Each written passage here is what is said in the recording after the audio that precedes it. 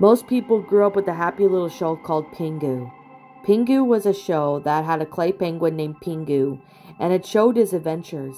The characters spoke some sort of penguin language. The original show ran from 1986 to 2000. There apparently was an unreleased episode that was released a year later. Now, this is where it starts to become interesting. When I was around 5 or 6, I saw the beginning of a Pingu episode called Pingu's Punishment on TV. I only saw a bit of it, but what I can remember was Pingu was very angry and his mother began smashing plates.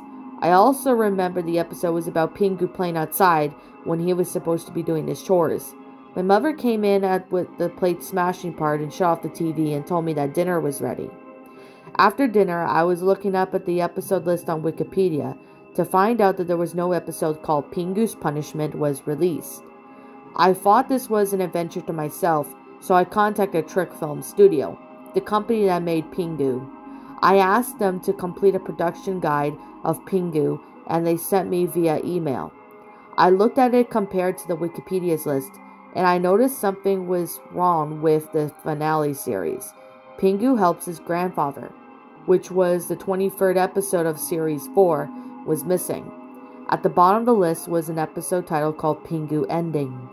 I and asked for the synopsis, but they refused to give me one, stating it was personal information.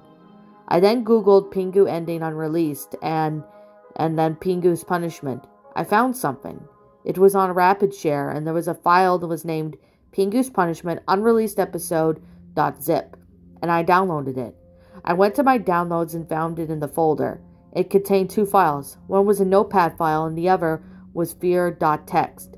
I opened it and read, This is an unreleased episode of Pingu's Goo, dated back in April 11, 2000. They originally planned to end the series, and this was actually released in some countries. Watch it at your own risk.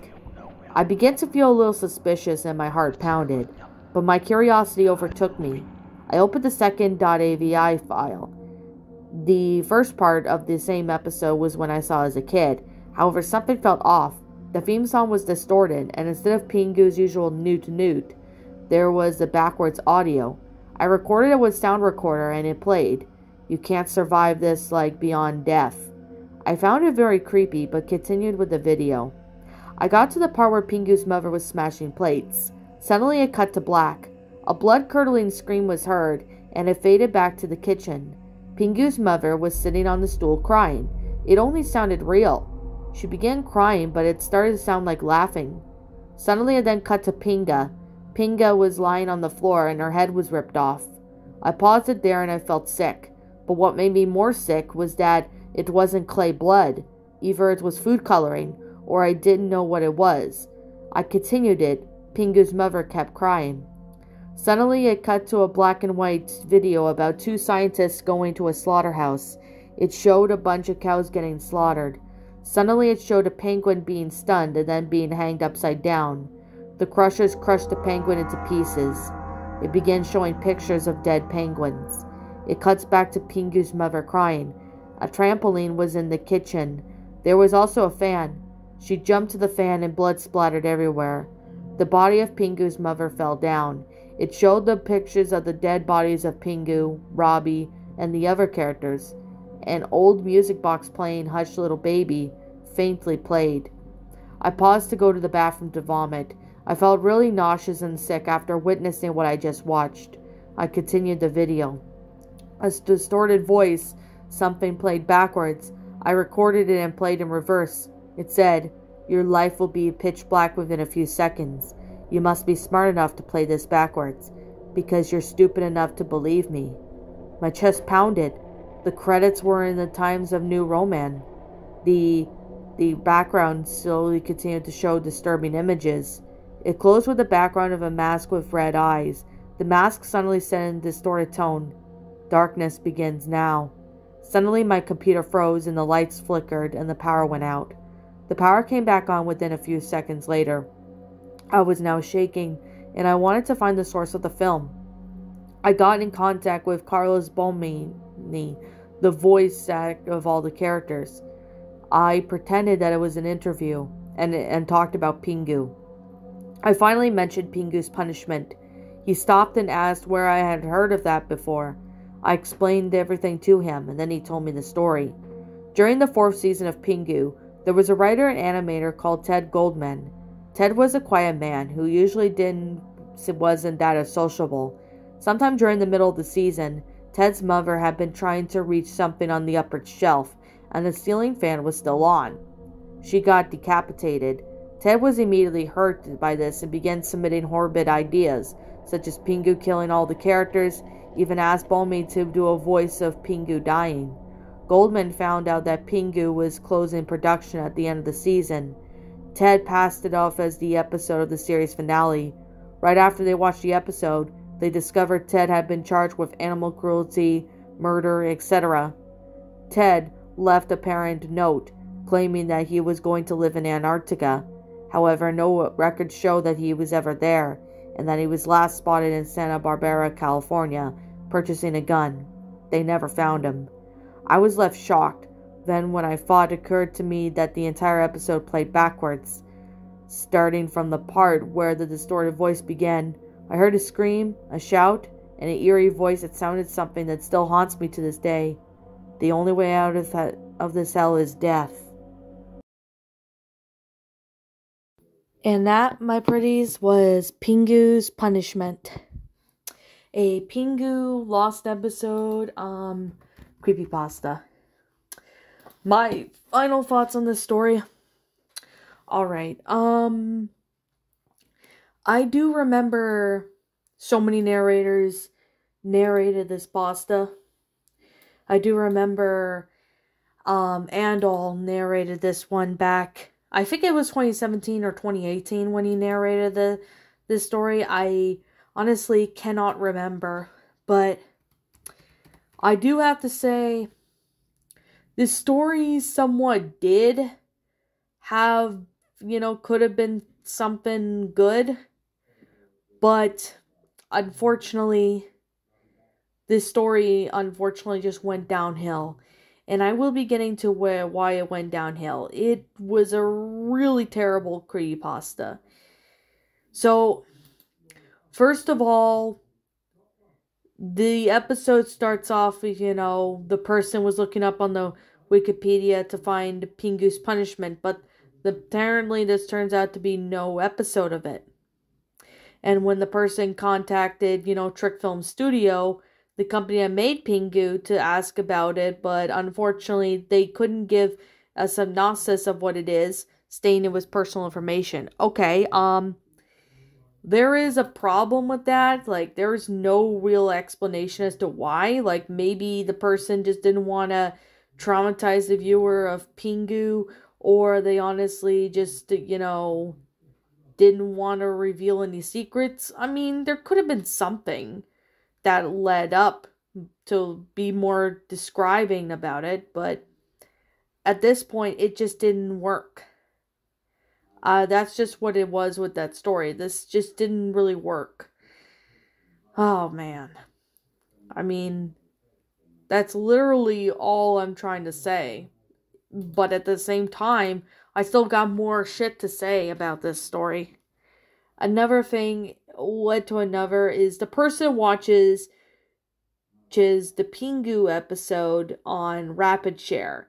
I mean, how was that on Rapid Share? I mean, maybe somebody else managed to get those episodes and upload on there. There's literally no explanation on that, so it just doesn't really make a lot of sense. But like I said, there's a lot of weird stuff on the internet you can really find, so I'm not too surprised.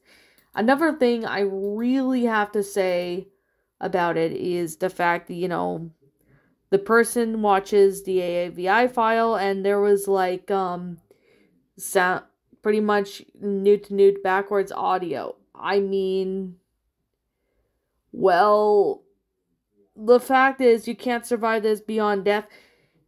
I honestly just don't understand why that was included in the story. It just literally just doesn't work with this story. That's just literally what I'm trying to say is that it just literally did not work with the story. I mean, I know some pastas do it, but at the same time, they do it far too often, if that makes total sense. And then we get to, you know, Pingu's mother smashing plates, and then it cuts to pretty much um um Pinga, you know, ends up having her red heart ripped off. I mean, there's literally no explanation for why that happened. So that honestly just there's no reason for Pinga to die, honestly. There was no real reason. There's no explanation as to why she died. It just literally just did not work. And then it, then pretty much um it cuts to a a trampoline was in the kitchen with Pingu's mother dying like that. Okay. That literally just didn't work. And the person getting sick after that, like okay, why would you get sick after that? It's just a cartoon. It's not real life. So why would you get sick by that? That that literally doesn't make any sense. And then a distorted voice comes up and says your life will be pitch black within seconds. And then there is um background with the mask guys. Like oh my god, this looks like it's a demon cliche Oh my god. That just did not work with the story. It literally just didn't work. That literally, I don't even know, but this story just doesn't seem to be working. You know, that honestly. That literally just doesn't really work. That's literally what I'm trying to say is just is it, it didn't work. And then we go to, you know, there's a guy named Ed Goldman. He was charged with animal cruelty, murder, etc. Um and then he wanted to go live in Antarctica and then he turns out to be dead. Like okay then. That's I have no comment on that whatsoever. So there's that. And then it ends up pretty much a person was left in shock by the entire episode and then of course or is there's an eerie voice that says something saying the only way out of this hell is death like i know it's the s word but i'm not saying it but you guys should know what i mean by the s word another word for a person taking their own life i'm not going to say it i mean that is just like the literal cliche thing you could ever add it in a story and that is something that just did not add with this episode. Literally, this episode just didn't really work. I really just didn't really see any logical explanation for this story. I don't see how this would be this be the case. I literally just didn't find any enjoyable ability with this. This story was just cliched. It just it was just really, really, really cliched. That's literally one of my thing, one of the things I have to say. It was just cliched. It didn't work out. It was just, it's just a cliche mess. Now, for what I could do if I were the author of this story, I would, you know, make a complete rewrite, make it believable to make sure it was exactly, you know, believable, but not cliched messed. This story was just cliched. That's literally one of the things I can definitely say about this pasta, is that it's just cliched. Okay, I guess that's pretty much all I have to really say. Uh, the grammar was alright. wasn't perfect, but it was alright. And the same with um the sentence structuring that that they were fine too, but that's literally all I can really say. This story could have had somewhat of a decent plot line, but unfortunately that didn't work. And this story just ended up going downhill. It just sucked. That's literally what I'm trying to get at. It's just literally sucked. Okay, I guess that's pretty much all I have to really say. I've been rambling for quite a while. Like I'm always going to continue to say, this is just simply my own personal opinion. And if you happen to disagree with me, that's perfectly fine too. We're all entitled to our own opinions in regards to these stories. This is just simply my own personal thoughts. I'm gonna give this story a what how should I put this? Um I'm gonna give this story a um one out of ten. Mainly because the concept could have been decent. This could have been a decent story if only it wasn't cliched. It honestly was just a cliched mess. That literally just, you know, it was just cliched.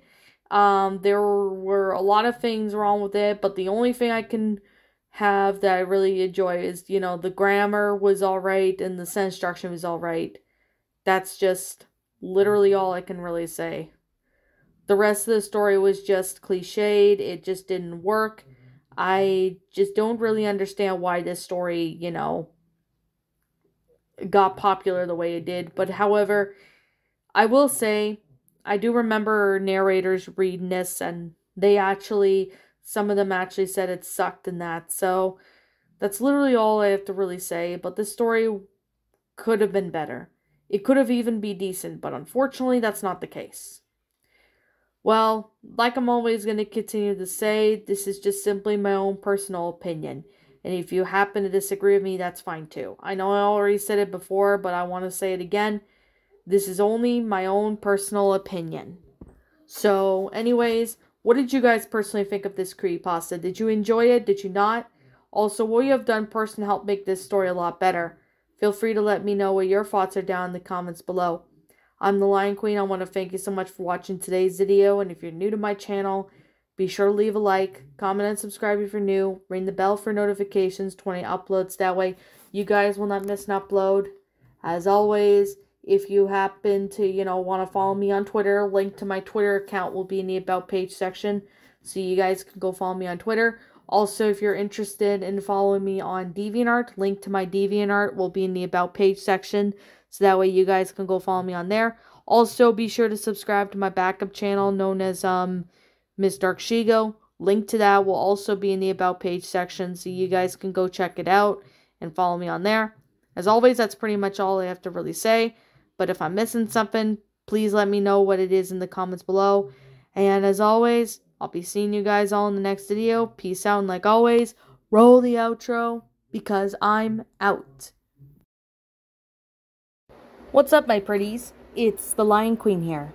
I want to appreciate you all for tuning into this video, and I do appreciate you guys supporting my video by giving this video likes and stuff. If you really enjoyed this video, be sure to leave a like, comment and subscribe if you're new, ring the bell for notifications to when I upload so that way you guys will get updated for whenever I upload. If you want to follow me on Twitter or DeviantArt, feel free to leave to leave a follow on those if you are interested in following me on those socials. If you want to support my backup channel, known as Miss Dark Shigo, feel free to subscribe to it, as a link to that will also be in the About page section. And with that being said, and that being the case, thank you so much for watching, my pretties, and as always, please stay pretty.